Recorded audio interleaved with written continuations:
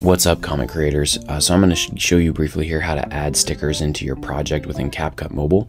Um, but basically what I'm doing at this point is in my timeline itself, I'm just moving my cursor to wherever I want that sticker to pop into the project.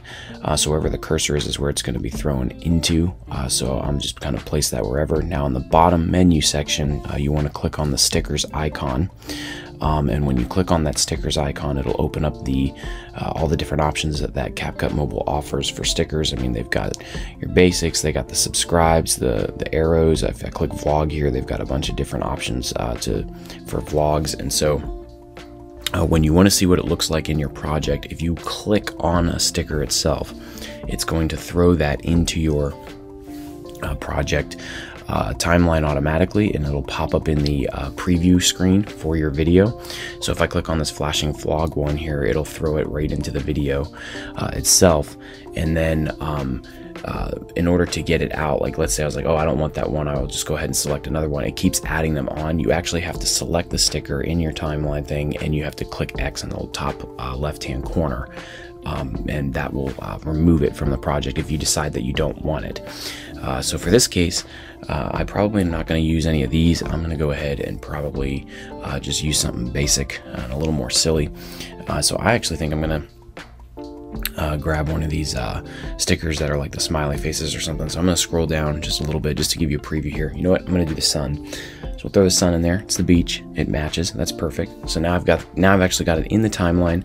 Once I find the one I want, I click the check mark in the top uh, right hand corner, uh, and now you'll see it as a bar in my project timeline. Uh, so there's a couple different things you can do here. If I'm holding my finger down uh, and moving my finger around my screen here, I'm actually uh, moving the sticker itself to place it. Uh, I can use my two fingers on there and rotating them allows me to turn the sticker itself. So I'm doing that. Uh, the little square in the bottom right hand corner, if I hold my finger down there and move my finger, that allows me to resize uh, the, the sticker itself. So I'm just basically placing this the way that I want it and getting it exactly how I, I want to have it in my project. The top right hand uh, circle allows you to add animations into its into the sticker. So if I click that top right hand circle, that's going to open up uh, my uh, menu options for animations here.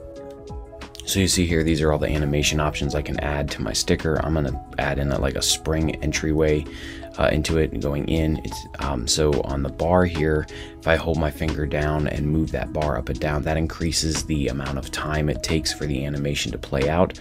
Um, I do feel like if the more, if I give it more time, it, it makes it look more smoother and more professional uh, in the project. So once you click the check mark, now you've added the animation in there the little squares on the left hand side of the sticker, when you click that, it duplicates it. So that's what it does if you wanted to add more than one sticker in there. I don't, so I'm to click the top left and X out of that. But that is what those little uh, circle things do in the in the on the around the sticker when it's highlighted. Now here I'm holding my finger down and moving the bar around to replace where I want it to pop up.